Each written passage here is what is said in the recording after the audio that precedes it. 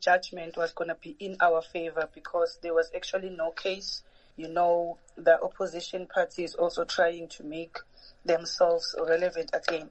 But we are very much excited, but it's, it's, it's nothing that we weren't expecting. We expected the results. So, but we're happy, we are happy. What does this mean for the Umkhonto weSizwe party, this victory? What does it mean for you?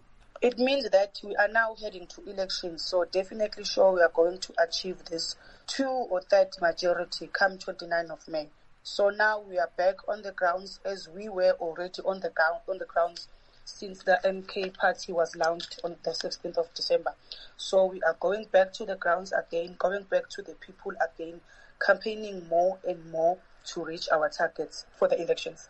Well, according to the ANC, your party's logo is a heritage and an asset, and basically you are infringing on its right. Supporters of the ANC are saying that is not fair, and perhaps they should appeal the ruling. What do you say to that? They can appeal, it's fine. I think now they are just wasting their time. They should be busy campaigning as well, but they are busy with court cases, of which all of them they are losing them. So to us, um, it's fine. They can go and appeal. We'll be ready for them again. So with this logo firmly in your hands officially, what's next for the Umkhonto weSizwe party ahead of the coming May elections? What is next for Umkhonto weSizwe party from now on is to launch more and more of, of, of campaigns. We have AMA programs, or oh, we have the programs that we have on our POAs as the Umkhonto weSizwe Party, as the Umkhonto weSizwe Youth League, as the Umkhonto weSizwe Women, Women's League. So all our campaigns are, are now uh, for us as leadership and our forces, our masses, to go back to the ground, to go back to the people and tell them more about Umkhonto weSizwe Party. So for now, uh, we are heading back, we are heading to elections. We don't have time. I think we are left with 36 or 37 days now. So that's the only time we left for us to campaign more. The latest opinion polls show that Umkhonto weSizwe Party has garnered 15%, basically taking away support from the African National Congress. But you are claiming that you are going to form a two-thirds majority. What makes you so confident?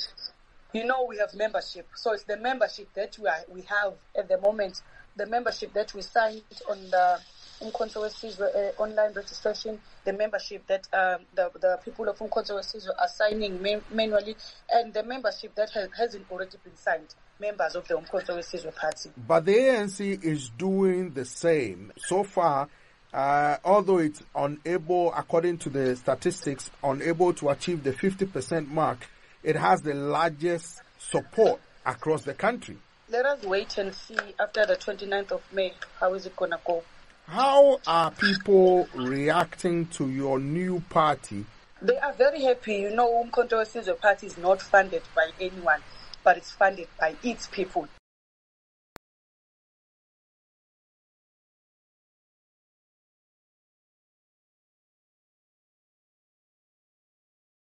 British Prime Minister Rishi Sunak promised on Monday to start sending asylum seekers to Rwanda within 10 to 12 weeks as the upper house of parliament finally passed required legislation delayed for weeks by attempts to alter the plan. Sunak said the government had booked commercial charter planes and trained staff to take migrants to Rwanda, a policy he hopes will boost his Conservative Party's flagging fortunes before an election later this year. The House of Lords had long refused to back the divisive legislation without additional safeguards, but eventually relented after Sunak said the government would force parliament to sit as late into Monday night as necessary to get it passed. No ifs, no buts. These flights are going to Rwanda, Sunak told a news conference earlier on Monday.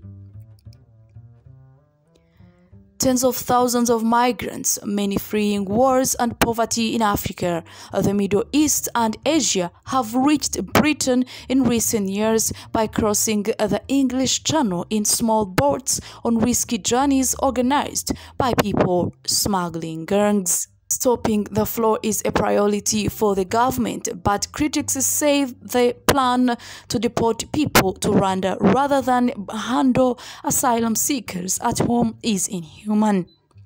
They cite concerns about the country's own human rights record and the risk asylum seekers may be sent back to countries where they face danger.